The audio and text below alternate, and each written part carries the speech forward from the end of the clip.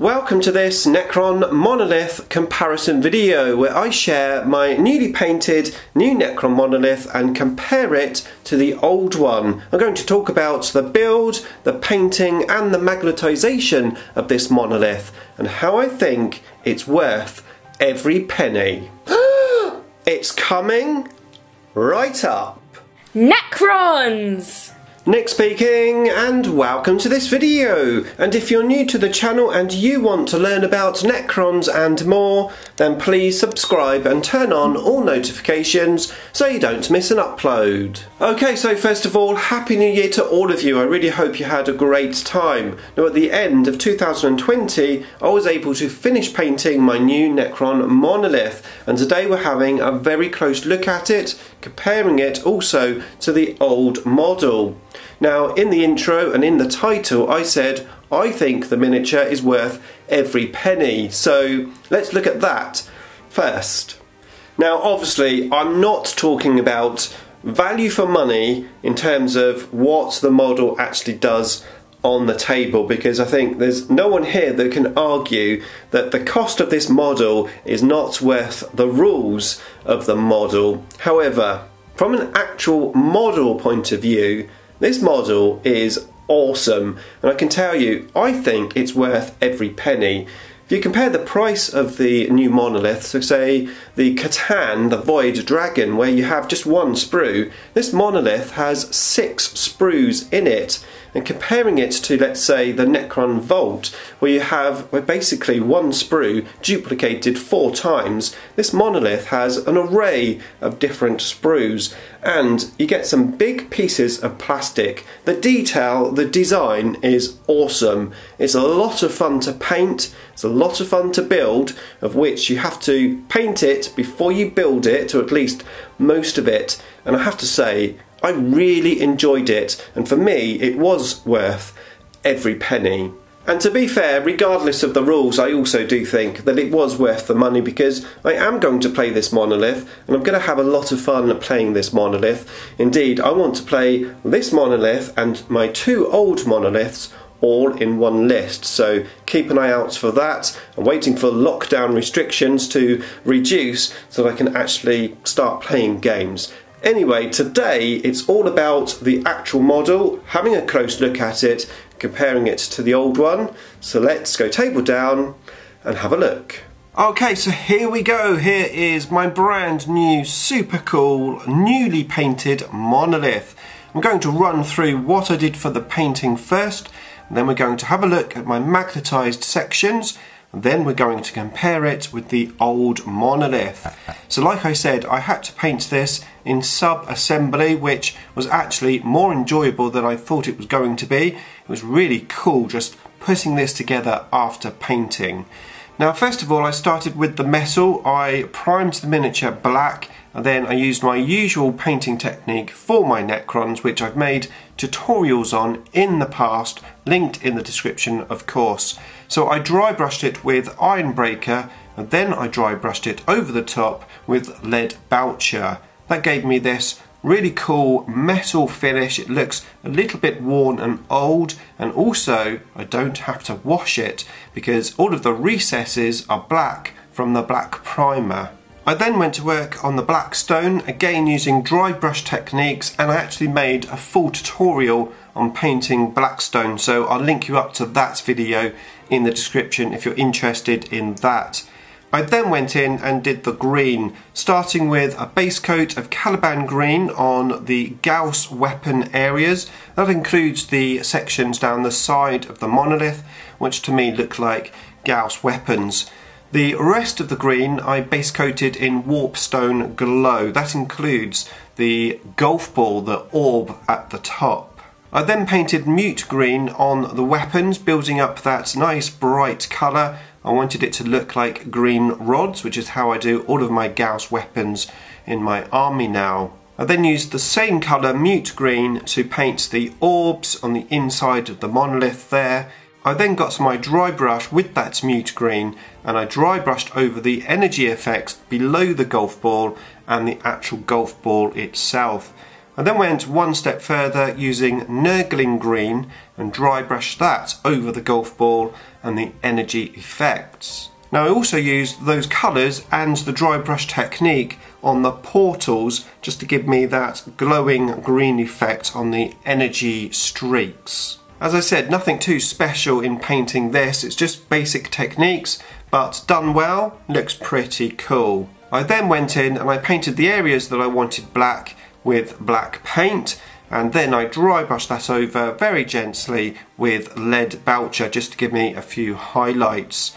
Finally on the Gauss weapons I did a little line of silver around one of the little rims my original Gauss weapons have that at the front of the guns, but these guns don't have a front like that, so I had to put it at the back. However, it works pretty well. And then finally, to finish it off, I painted gold on some of the Necron symbols, just adding a little bit of depth to the miniature. I also painted a little bit of gold on the Canoptek creature on the back of the monolith. So each side of this monolith has a touch of gold just to break it up.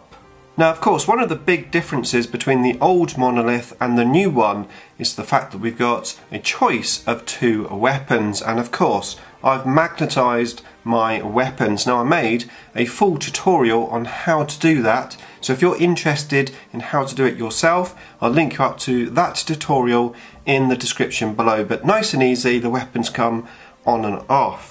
Now the good thing about this model is you actually get two different portal options, one with the warrior coming out of it and one without. Now I couldn't work out which one I liked the best so I ended up painting both. It wasn't until I actually glued the miniature together after painting that I realised that the portal doesn't actually sort of sit in the monolith too much. I thought it was going to be gluing into the sides of the monolith and it would be very difficult to interchange it. However, it only pushes in on two little slots at the back and indeed it pushes in so well that you don't even have to magnetize it. However, you do just get one set of steps and the steps don't just push into place, they have to be glued into place. So what I decided to do was just magnetize the steps. So I drilled a 2mm hole up into both sides of the portal and down into the steps. Then I just magnetized them on. So I now have both portal options, which is really, really cool. Now talking of options, if you didn't glue the Canoptek creature onto the back here, and you actually took that whole back section out, you could potentially put the other portal on the other side of the monolith. However, of course, you wouldn't have the second uh, set of steps, but potentially you could use that as a conversion if you didn't like the Canoptek creature. Now, talking of the Canoptek creature, some of you may be thinking, hey Nick, what do you think of this model now that you've painted it? Because in your previous videos you said you didn't like the orb, the golf ball, and you also didn't like the Canoptek creature. Okay, so here are my opinions now. Uh, the golf ball. I actually quite like the golf ball now. It's not as golf ball looking as I thought it was from the, the pictures and after painting it and having a model without the green rods I think actually it it works really well. It's pretty cool to be honest with you. Now of course I know a lot of people like this Canoptek creature. It's potentially the way forward for Necrons. I mean our Tesseract Vault has Canoptek creatures on it. However those creatures are embedded into the armour. They're not controlling the vehicle as in like this one is sort of in the air doing its whatever it's doing to that energy ball maybe harnessing the energy or something. Now I did have the option of course not to put it on there, however the towel is embedded in the miniature, doesn't come off, and whilst I could have converted and adapted it maybe without the Canoptek creature, well to be honest with you I wanted to build it as is straight out of the box really so I could make this video we could have a closer look at, at the miniature as it's supposed to be. To be fair, I can take it or leave it. The Canoptek creature doesn't really do anything for me. I don't wow about it being on there. I think it's a little bit odd. I mean, if this energy ball wants to shoot backwards, it's going to shoot the Canoptek creature. Really weird. However, we'll talk more about that when we look at the old miniature. Now this new monolith now has a base, which the old one didn't. And There's a pretty cool mechanism for the base. You don't even have to glue it, it just pushes into place. Actually, it's got two points. You can either have it horizontal or you could twist it around and then you could have it squiff to one side as if it's, well, not quite sure what it's doing. I don't particularly like that, but some people may like it, so it is certainly an option, and options are always good. Okay, so here we go, the old monolith versus the new monolith. Let's compare these two units. Now when we first saw images of the new monolith, I think we all thought it was going to be a much bigger miniature. However, it's almost exactly the same size. There really isn't much difference between them. The bottom horizontal edge of the monolith is 6 inches, 6 inches all round, and then it's got a height of around 8 inches. Actually, the old monolith stands about a millimetre taller than the new one. However, the old one doesn't have a base. And I'm going to base my old monolith, so that's going to raise it up probably about 5 or 6 millimetres taller than the new one. Now looking at these miniatures here side by side, the old miniature does look a little bit bigger, but I think that's an optical illusion because they are the same size. The new miniature has a little bit more depth to it. It's not so blocky, which I think gives the impression that it's a bit bigger.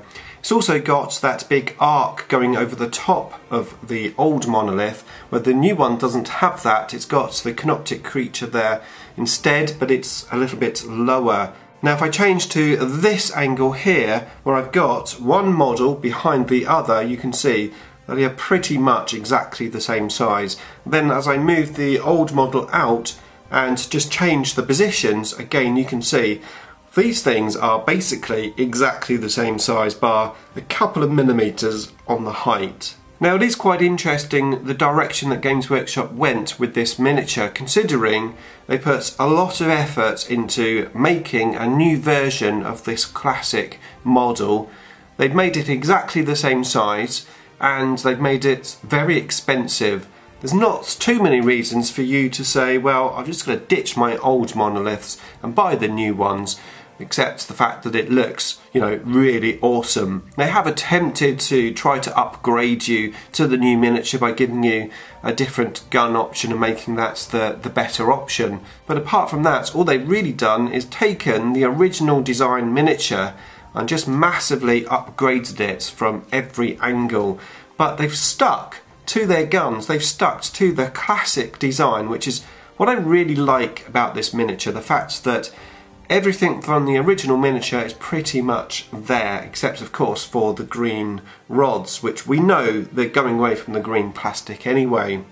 So looking at the front of the miniature, of course we've got the portal and we've got two portal options. Pretty cool. We've got the Necron symbol and the Necron symbols there on the new miniature. I did like the sort of Necron face on the symbol. I liked the door. Actually, it's one of my favourite things about the old miniature. I would have liked to have seen that skull idea on the new miniature and I would have painted it white to match my miniatures but you know you can't have everything and of course the introduction of the blackstone in the miniature and how they've done that, giving you the depth and like I previously said, the fact that you can see inside of this monstrosity and of course when painted just looks really really cool. And of course I like how they've replaced the blackstone on those two little sections at the top there where previously of course they were green rods. A really nice touch. We've got so the new power generator there which of course is powering this tank and of course right on the top there, a replacement crystal. We've now got this golf ball design, which that golf ball now is painted, looks pretty cool. And then we turn it on its side and we've got those big plastic green rods, which I really like, now replaced by those, well I'm calling them the Gauss rods. Yeah, I mean it works, it works well. The addition of those Necron symbols down the side, of course, giving it a lot more depth. And of course, we've got the more damaged metal look on the miniature, which when I first saw the pictures of that, I thought it was more weathered, more damaged than it actually is. When painted, you can't really tell that it's that damaged. However, in this side view, we can clearly see the Canoptek creature there is the replacement for that big arc going over the top. But of course the creature isn't going over the top, so, so to compensate for that, they've increased the height of those three side spines. And then when you look at the back of the miniature, again, it's pretty much the same design. You can see that Games Workshop have said, right, this is the original. How are we going to change that section? At the back there, we originally had that little green circle, the green rod, and that's now replaced by an orb. And of course, they've got that big spine on the original, which is, let's face it, totally detailless and they've replaced it with a very detailed Canoptek creature. You can see, you know, where they're coming from with that creature there. And of course, it's an aesthetic thing. Probably, I think that's how it started as an aesthetic thing. And then somebody said, "Oh, how about if we say that that creature is controlling the golf ball?" Maybe. I mean, that's that's my thoughts. However, it was an absolute delight to build and paint this miniature and the fact that you can literally see inside the miniature how it goes together is very very clever. None of the sides actually sort of fit together, they're all suspended from the inside. Super super cool. Now what I liked about the old monolith is the fact that you could bring the steps up at the bottom of the monolith and then you could draw the door down when you weren't teleporting units through. The new one doesn't have that, however we've got a portal with the warrior in and a portal without the warrior in. Very, very cool. And of course we've got two weapon options which, once magnetized, is very, very useful. And lastly, we can, if we wish, have this miniature angled on its base. Another cool feature. As I said, I've had a lot of pleasure from this miniature, literally just from building and painting it let alone playing it. Now, when we finally come out of the lockdown that we're in at the moment and we can start gaming, I am going to be gaming with this monolith in a battle report sometime in the future. So keep your eyes peeled for that. In the meantime, if you want to see me unbox this miniature so you can see what it looks like on the sprue, then here is the video to that and here is the playlist with all of my 9th edition Necron Codex review videos.